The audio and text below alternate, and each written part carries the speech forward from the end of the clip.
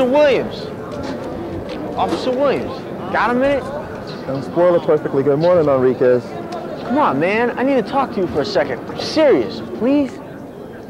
What is it? It's my bunkie. Johnson is sick. Real sick, man. And I don't need to be catching no diseases up in here. If I'm walking around sick, people are gonna think I got AIDS or something. Probably just got a bad head cold. Nah, man. It's got something really nasty. Like what? Uh, first off, he's coughing all the time. And he sweats a lot too, especially in the middle of the night. He wakes up, his clothes are soaking wet. And he's lost a lot of weight also. I'll check it out. And if you don't believe me, you can check for yourself. He's right over there on the other side of the yard.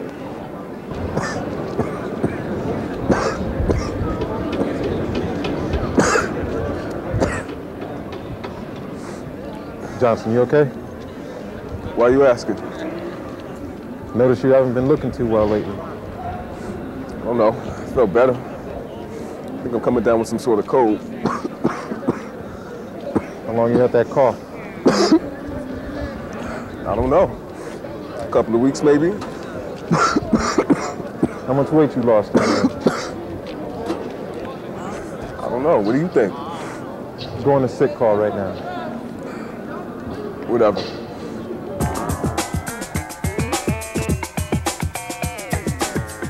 Johnson says he's been coughing for three weeks now.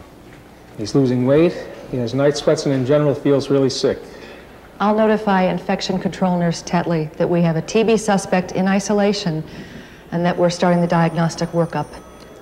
We'll need three sputum specimens for acid-fast bacilli, and we'll need to redo his PPD. I'll also need a set of baseline liver function tests and a chest x-ray. You'll need to make arrangements to get him over to St. Christopher's Hospital. I'll call the watch commander and arrange transport. As a suspected case of TB, we'll keep him in isolation till we're sure the treatment's working. Okay. If his sputum smears are negative and his symptoms and chest x-ray show improvement, we'll consider releasing him from isolation in a couple of weeks. In the interim, you'll want to counsel him on HIV and see if he'll agree to be tested. Since we know that a large percentage of TB cases in prison are also HIV positive, that's a pretty important test. What did he have to say about any possible exposure to active TB? Johnson told me that several months ago when he was on parole, he ran into an old friend of his in the neighborhood. It seems that the friend at the time was quite ill. He was presenting some of the symptoms that Johnson is suffering from now. What do we know about him? According to Johnson, the word on the street had it that his friend uh, Jamal had TB, wasn't taking his pills. Let's get those tests worked up as soon as possible. I'm on it. So how's Johnson doing? Williams, you know that's confidential. There's something around here called procedure. If there's anything you need to know about, you'll be notified by the watch commander. Right. Williams, don't worry. We'll tell you if you need to take respiratory precautions.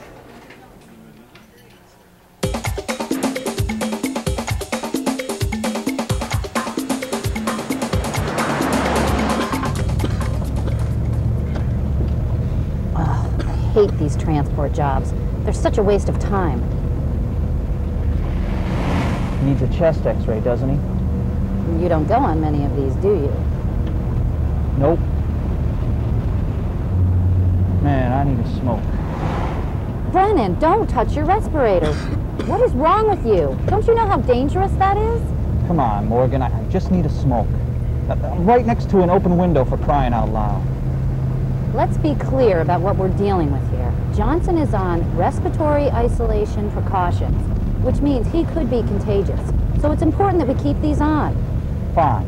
Then why the open windows? It's, it's freezing outside. We should try to keep as much fresh air coming into the vehicle as possible. Even though Johnson is wearing a mask, there could still be germs floating in the air, and the less germs there are in the air, the better for us. Well, isn't that the whole reason for wearing these respirators? Yeah, the respirator should give us plenty of protection as long as they're fitted correctly. Right. You did get trained on how to use one of these things, right? Sure did.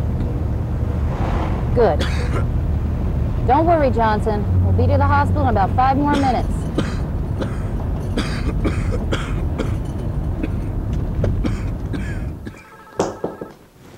Well, I heard a rumor that the infection control nurse was coming over to see me. How are you, Tracy? Oh, pretty good, Dep Sup. How about you? Not too bad. Can I get you a cup of coffee? Oh, no thanks.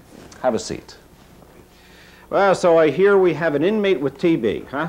That's right. We've identified a TB case and need to plan a contact investigation. Of course, we'll want to work with your office in planning and implementing the trace. Uh, we haven't had a case of TB in the facility for quite a while. It certainly has been a long time. I'm trying to figure out how we handled the logistics the last time around. Oh, here it is. Okay. Uh, Tracy, you've been working in, uh, in corrections for as long as I can remember.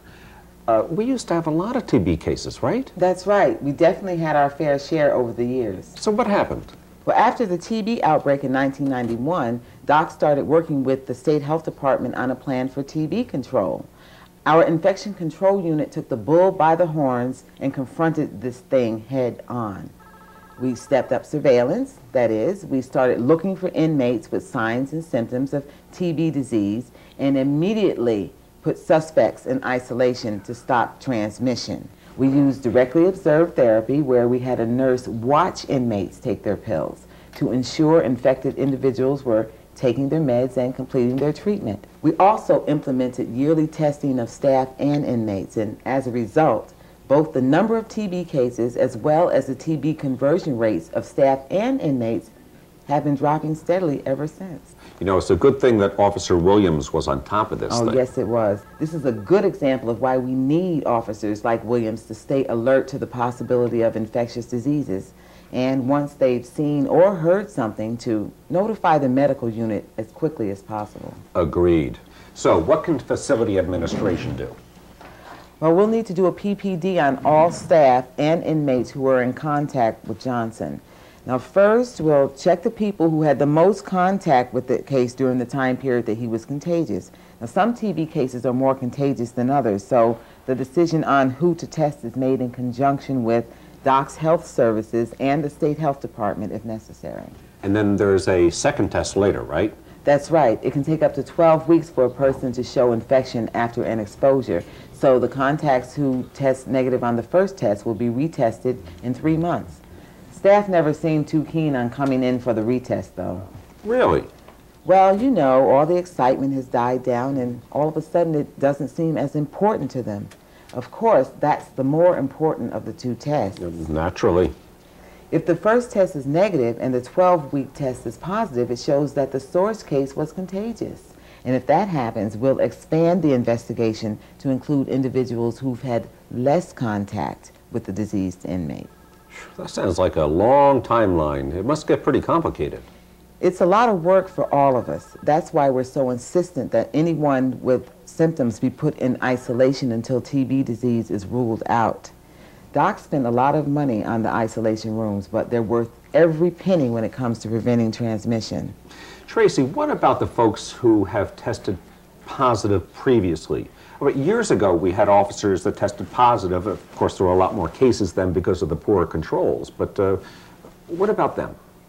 Well, contacts who are already positive, both staff and inmates alike, are checked for symptoms of active disease. And any contacts who are ill are, of course, further evaluated with chest x-ray or possibly sputum tests.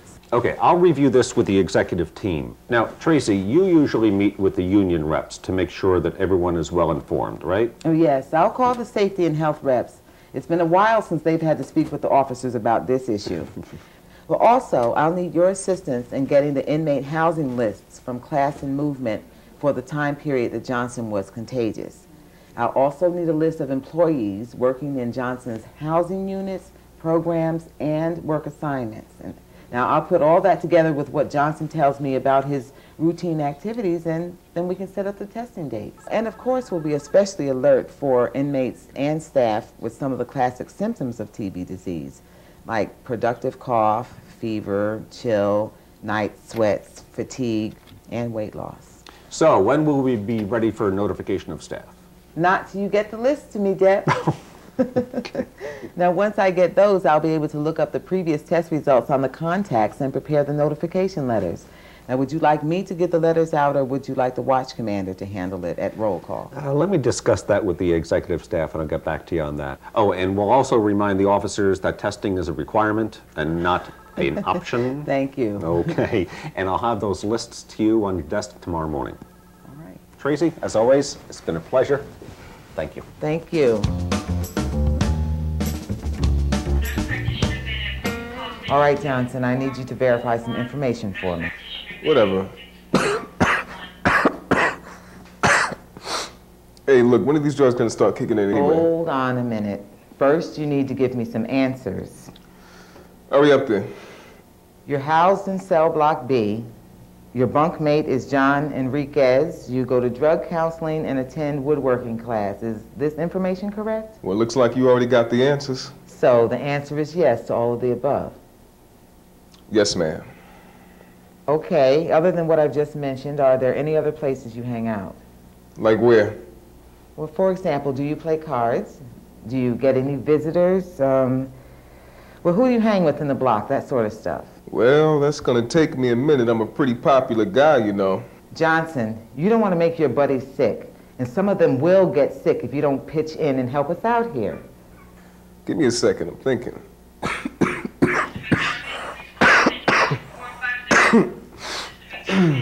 hey, let me ask you something. That mask might keep you safe, but uh, if I'm that contagious, what's to stop my germs from floating on out of here every time you open that door? Well, this room has something called negative pressure. It's the difference in pressure between this room and the outside corridor. This negative pressure creates a one-way flow of air into this room, which means that air comes in from the corridor and then gets exhausted to the outside. Right. Whatever.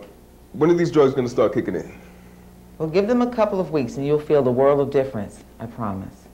Now let's get back to concentrating on who you hang out with in your block, your workplace, school, or in any special program you attend.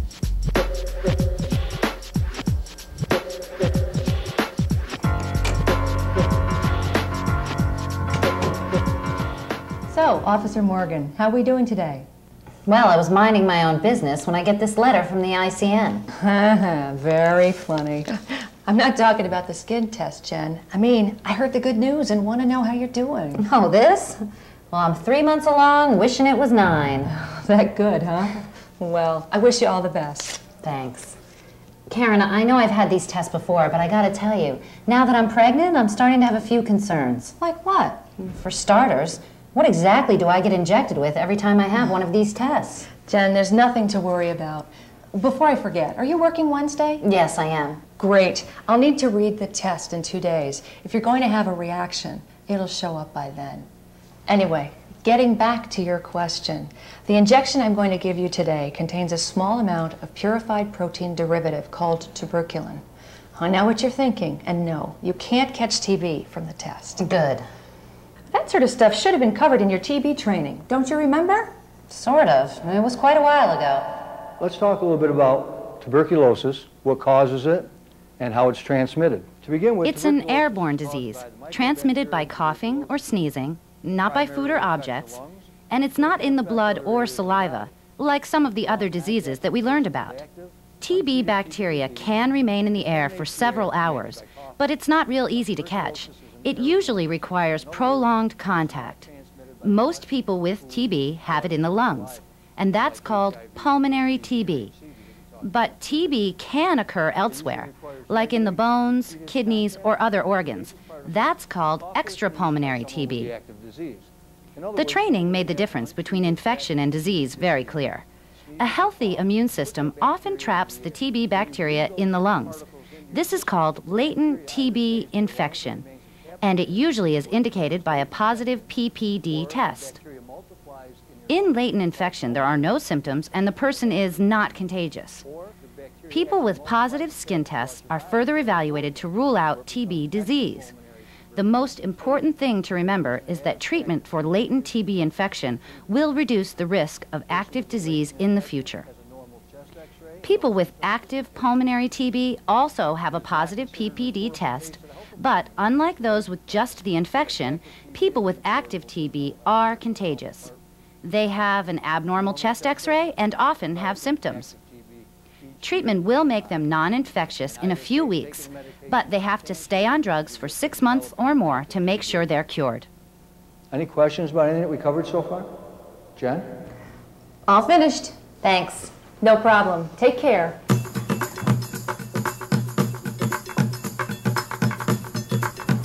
So, Mr. Johnson, you've been out of isolation for several weeks now. How are you feeling? Was just like you said. After a couple of weeks, I felt better. And now I'm okay. Good. It appears that you'll be leaving us next month. Yes, ma'am. And I'm making no plans on visiting this place anytime soon. Well, I just need to go over some discharge planning with you to make sure that there are no misunderstandings. And I was just starting to like you, too. Three months ago, you were diagnosed with TB disease. Since then, you've been on medication. So? You experienced no serious side effects or liver damage. Your TB disease is under control, but you'll still need to keep taking these meds for the next three months. Whatever. According to the address information you provided us, the nearest health clinic to your location is the J Street Clinic. I've already contacted them and scheduled an appointment for you the day after your release. It's mighty kind of you. You'll be on directly observed therapy after your release. The clinic will assign someone to your case, and you will continue taking your medication and visiting the clinic for regular checkups until your treatment is finished. I will be contacting your parole officer, and they will be involved in your treatment as well.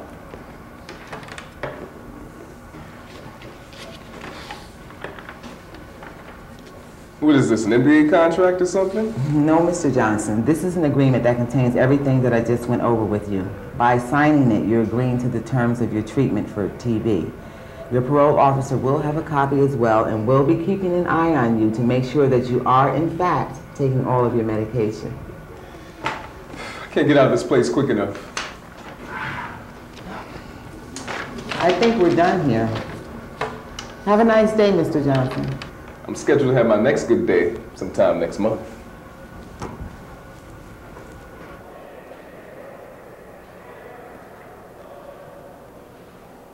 Enriquez, I never saw you at the medication window before. Keep it down, man. So what? My follow-up TB test came back positive. But don't forget to take your medication and listen to the nurse. Doc says if I want to kill this infection, I gotta take pills twice a week for the next nine months. Nine months? Yeah. Listen to the nurse, Enriquez. So, we discussed the medication that you'll be taking. Yup. You'll be coming here to the med window twice a week to take your INH. Now, while you're taking these pills, it's very important that you let me know if you begin experiencing any of the side effects that I spoke to you about. Could you go over those again? I must have zoned out during that part. Sure. Serious side effects due to liver damage include loss of appetite, general weakness, upset stomach, vomiting, rashes, and having your skin and the whites of your eyes turn yellow. All right. Let's get this over with.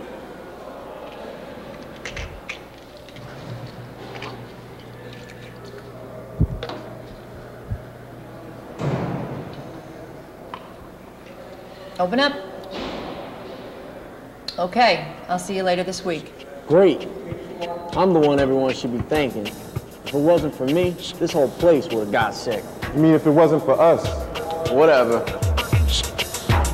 Let's quickly review some of the principles to controlling TB in prisons and jails. Early identification,